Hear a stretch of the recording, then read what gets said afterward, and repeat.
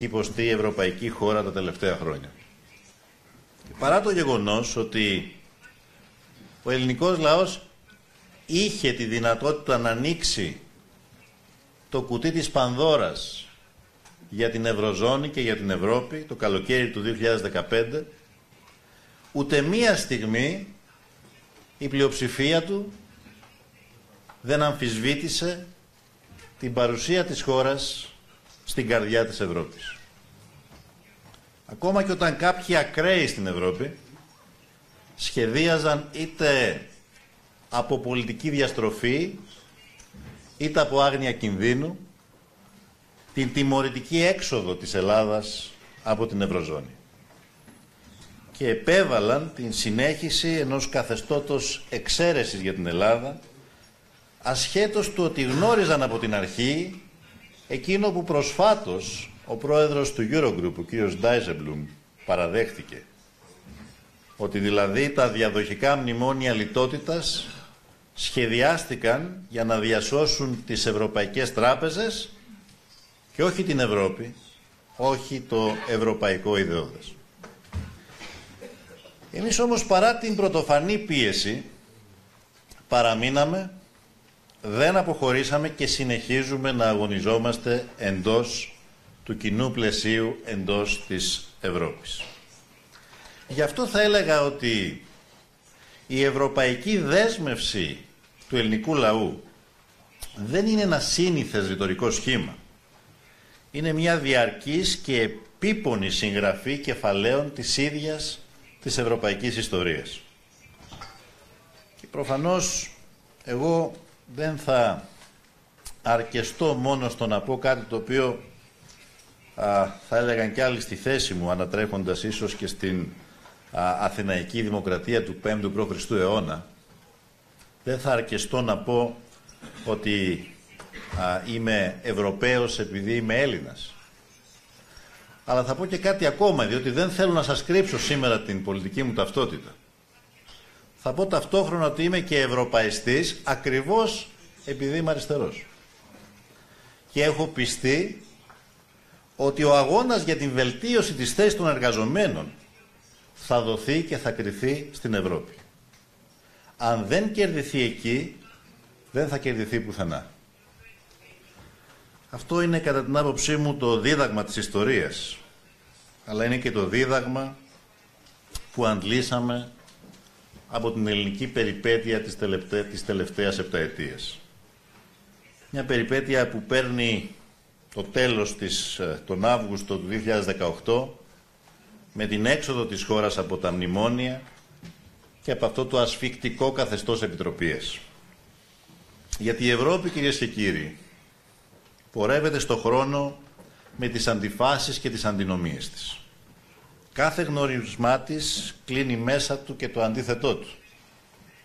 Την Ευρώπη των γραμμάτων και των τεχνών, της δημοκρατίας και των ανθρωπίνων δικαιωμάτων, αλλά και την Ευρώπη της μυσαλλοδοξίας, των εθνικισμών και του ολοκαυτώματος. Την Ευρώπη που γέννησε το διαφωτισμό, τη Γαλλική Επανάσταση και τον ανθρωπισμό, αλλά και τους δύο παγκόσμιους πολέμους.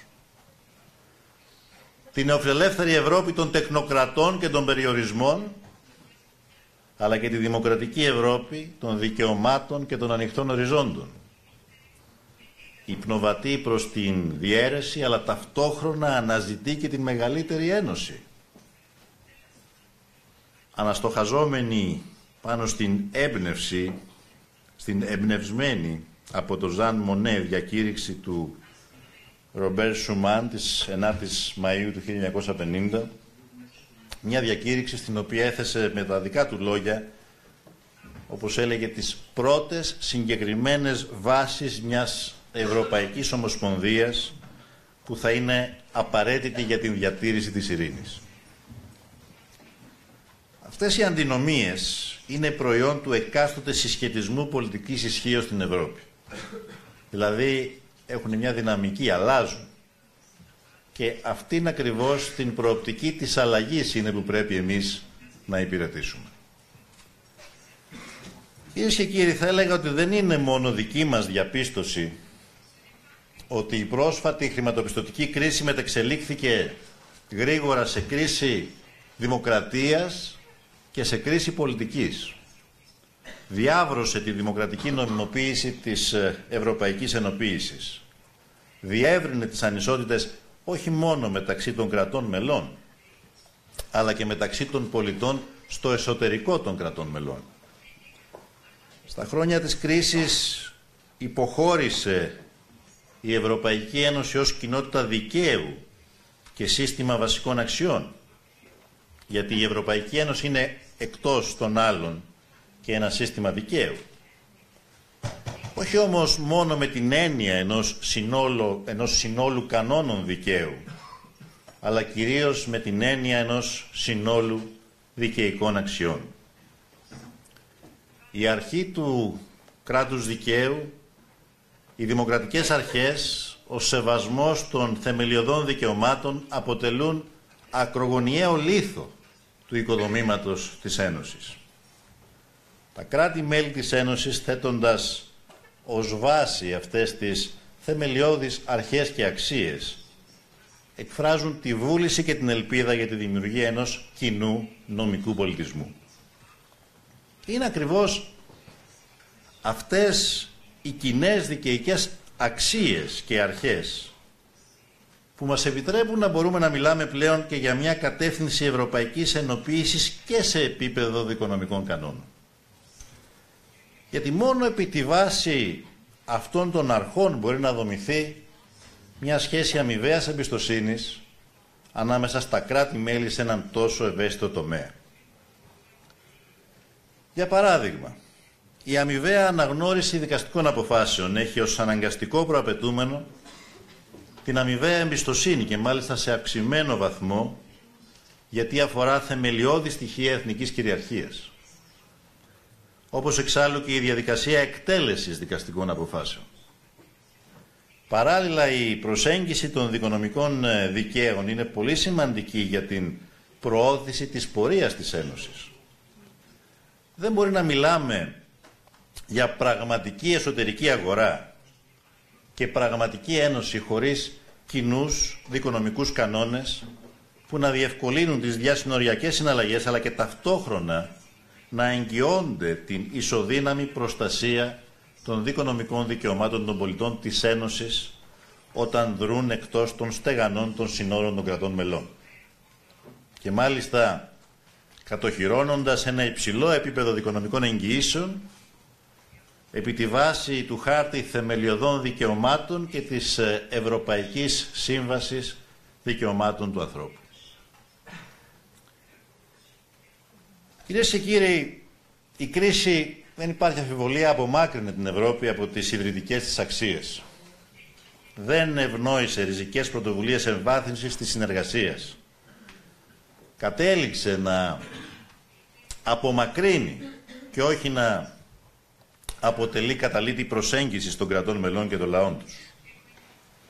Και η διαδικασία της ευρωπαϊκής ολοκλήρωσης βρίσκεται σήμερα αντιμέτωπη με τις συνέπειες αυτής της κρίσης. Μιας κρίσης η οποία ενέτεινε την ασύμετρη ολοκλήρωση της Ευρωπαϊκής Ένωσης και βάθυνε ακόμα περισσότερο το ρήγμα βορρά και νότου. Με πυρήνα το ενίο νόμισμα χωρίς όμως ενιαία οικονομική και δημοσιονομική πολιτική, αλλά και χωρίς το επιστέγασμα μιας πολιτικής ένωσης, μια ευρωζώνη που περιλαμβάνει κράτη-μέλη με διαφοροποιημένα επίπεδα οικονομικής ανάπτυξης, αλλά και συστήματα θεσμικής οργάνωσης της κοινωνικής και οικονομικής διαδικασίας και επιπλέον με μια διαχείριση της κρίσης που μεγέθυνε το εξής παράδοξο με το οποίο είμαστε σήμερα αντιμέτωποι.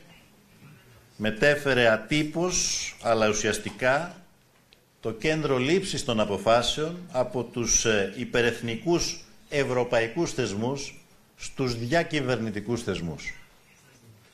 Και μάλιστα συνήθως πίσω από τις κλειστές πόρτες άτυπων οργάνων που δεν λογοδοτούν στους ευρωπαϊκούς λαούς, στους ευρωπαίους πολίτες, που κρατιούνται μακριά από τα κέντρα λήψης των αποφάσεων. Οι αποφάσεις λαμβάνονται πλέον στο Ευρωπαϊκό Συμβούλιο και στο θεσμικά ανύπαρκτο Eurogroup και συνήθως έχουν ως συνδετικό κρίκο τον νεοφιλελεύθερο δημοσιονομικό φετιχισμό με σαφή υποβάθμιση της, ε, των διακυβερνητικών ε, των, των θεσμών εκείνων, των υπερεθνικών θεσμών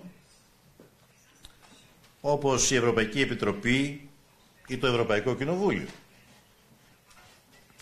Δηλαδή, από τη στιγμή κατά την οποία η Ευρωπαϊκή Ένωση υποτίθεται ότι θα γινόταν περισσότερο δημοκρατική, με το θεσμικό και πολιτικό προβάδισμα που απέδιδε η συνθήκη της Λισαβόνας στους ευρωπαϊκούς θεσμούς,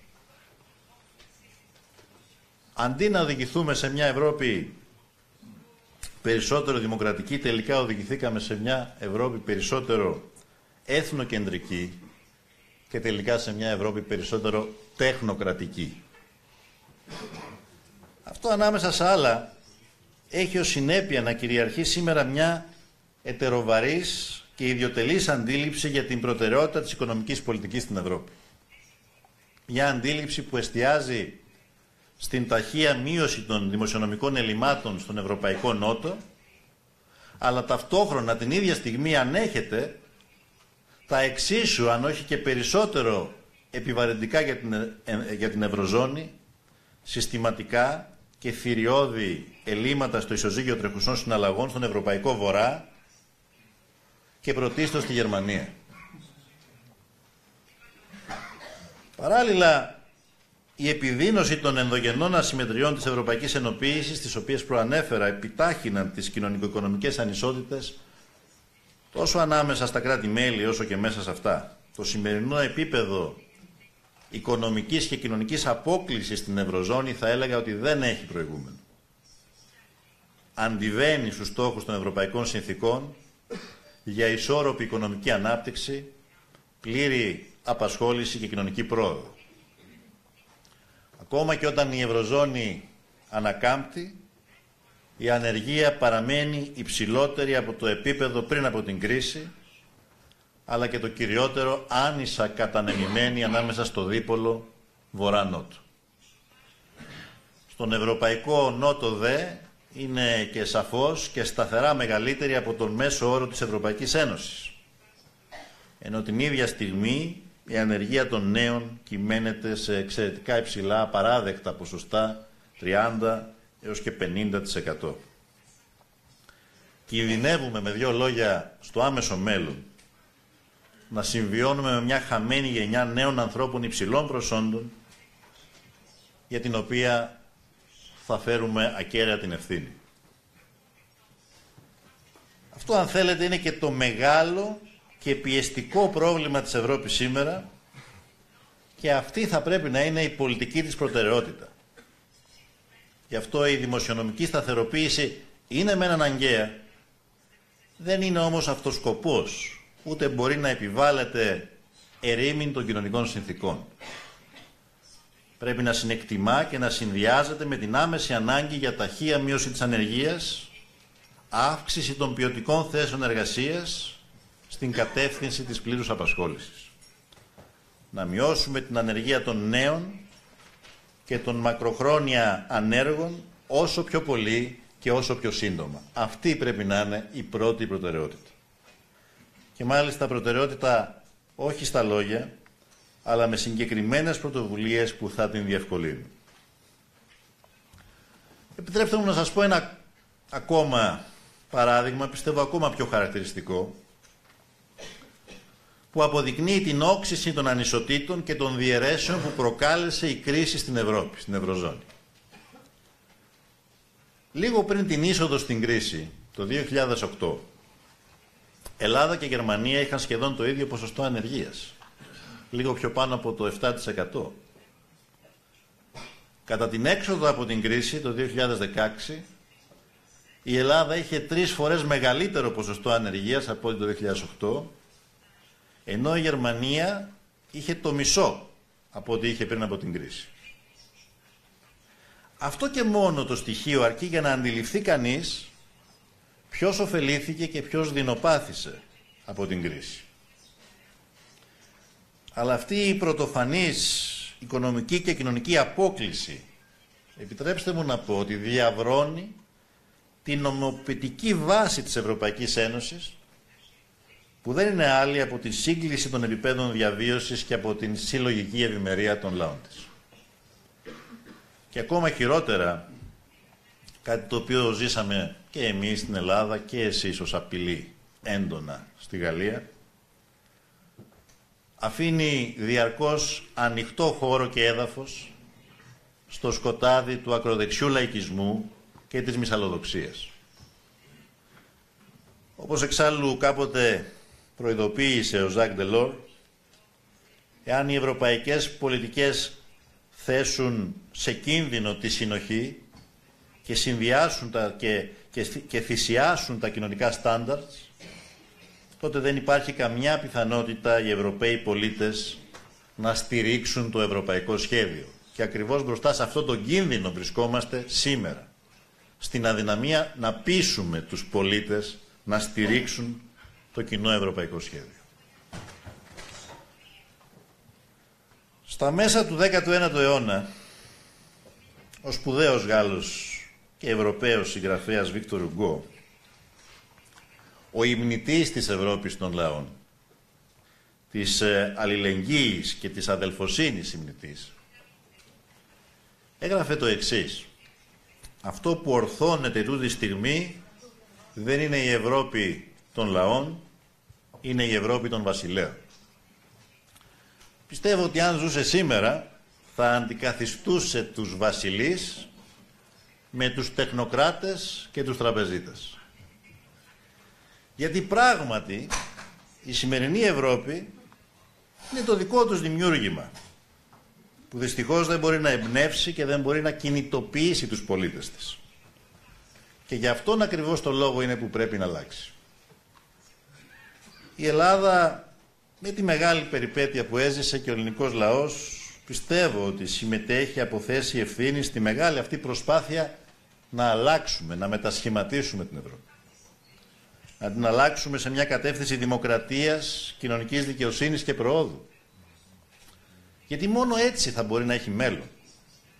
Μόνο στηριγμένη στους λαούς της, στα εκατομμύρια των Ευρωπαίων της εργασίας, της δημιουργίας, του πολιτισμού, μόνο έτσι θα μπορέσει να παίξει το ρόλο που επιβάλλουν οι σημερινές δύσκολες συνθήκες.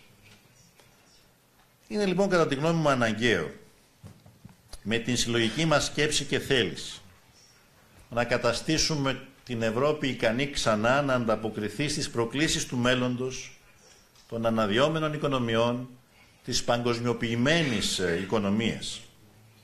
Να σχεδιάσουμε και να παρουσιάσουμε στους λαούς μας ένα φιλόδοξο σχέδιο για το κοινό μας αύριο, που θα έχει όμως τα θεμέλια του στις κοινές μας αξίες του χθες και που θα απαντά όμως και στις ανάγκες του σήμερα.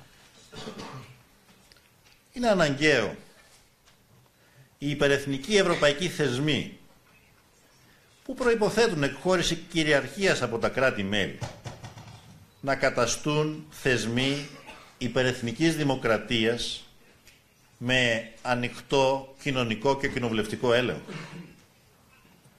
Να μην επιτρέπουμε πλέον η εκχώρηση κυριαρχίας από τα κράτη-μέλη να μετατρέπεται σε υποχώρηση της δημοκρατίας τόσο σε εθνικό όσο και σε ευρωπαϊκό επίπεδο. Αλλά να, να οικοδομήσουμε την έννοια της ευρωπαϊκής κυριαρχίας που θα βασίζεται σε αληθινά δημοκρατικούς ευρωπαϊκούς θεσμούς και θα εμπλέκει ισότιμα τους λαούς μας στην διαδικασία της λήψης των αποφάσεων. Είναι αναγκαίο η δημοκρατική επανεκκίνηση της Ευρώπης να έχει ως αφετηρία την Οικονομική και Νομισματική Ένωση, η οργανική ενότητα της οποίας προσδιορίζει σε μεγάλο βαθμό και την βιωσιμότητα του ευρωπαϊκού εγχειρήματος συνολικά. Και η οργανική ενότητα δεν μπορεί να υπάρξει όσο παραμένει μόνο η ενότητα αυτή νομισματική, αλλά όχι και οικονομική, όχι και κοινωνική. Δηλαδή όσο εν τέλει δεν μετασχηματίζεται η Ένωση και σε πολιτική ένωση. Οργανική ενότητα δεν μπορεί να υπάρξει όσο διαρκεί η σημερινή χωρίς προηγούμενο οικονομική και κοινωνική απόκληση στο εσωτερικό της Ένωσης, όπως προανέφερα.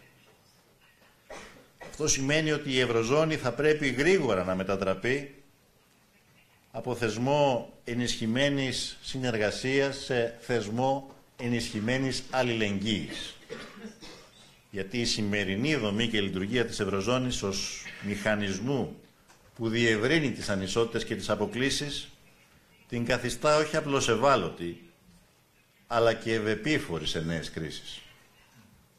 Γι' αυτό το λόγο πιστεύω ότι σήμερα χρειαζόμαστε περισσότερο δημοκρατική Ευρώπη. Γι' αυτό το λόγο πιστεύω ότι είναι αναγκαίος ο εκδημοκρατισμός της Ευρωζώνης, η θεσμική και δημοκρατική ευάθυνσή της με περισσότερα κοινά εργαλεία πολιτικής και εργαλεία επιμερισμού των κινδύνων μέσα στην Ευρωζώνη. Είναι επίσης αναγκαίο να αναχαιτήσουμε και τον φορολογικό ανταγωνισμό ανάμεσα στα κράτη-μέλη και να κλείσουμε το δρόμο προς τους φορολογικούς παραδείσους που συνιστούν νόμιμο τρόπο παραβίασης της νομιμότητας όσο και αν αυτό ακούγεται οξύμορο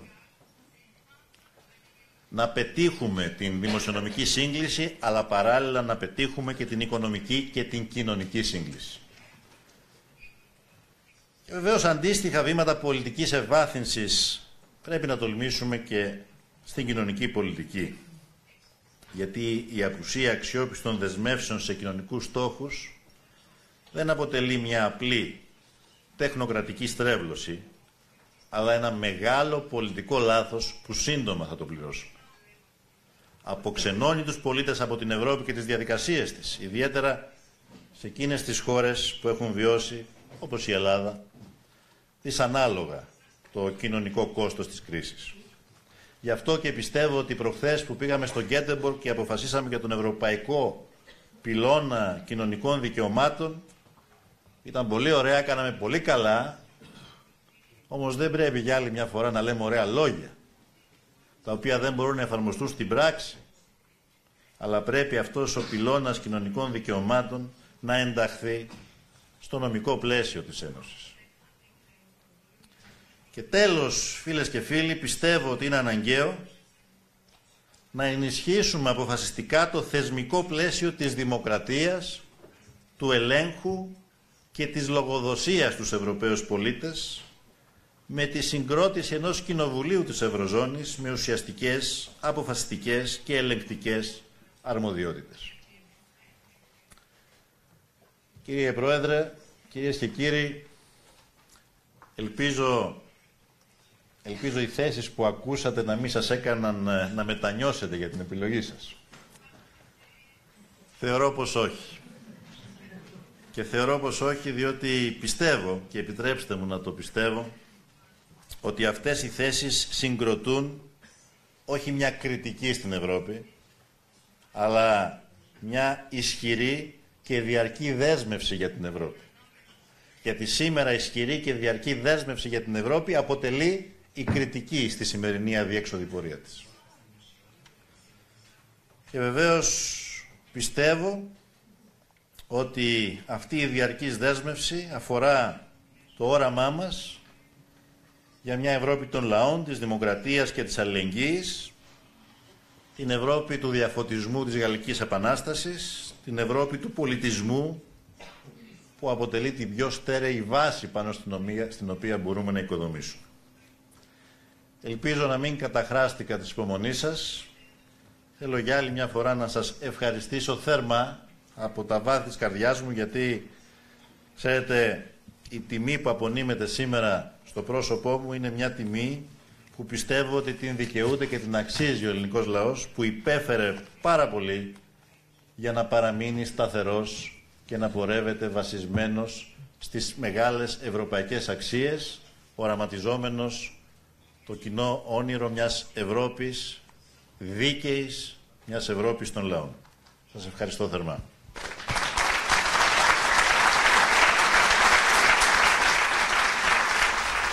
Ολοκληρώθηκε κυρίες και κύριοι η ομιλία του Πρωθυπουργού στο Παρίσι. Περισσότερα για το θέμα και αναλυτικά η επικαιρότητα στο κεντρικό δελτίο ειδήσεων της Ερτένα στις 9 παρα 5. Να είστε καλά.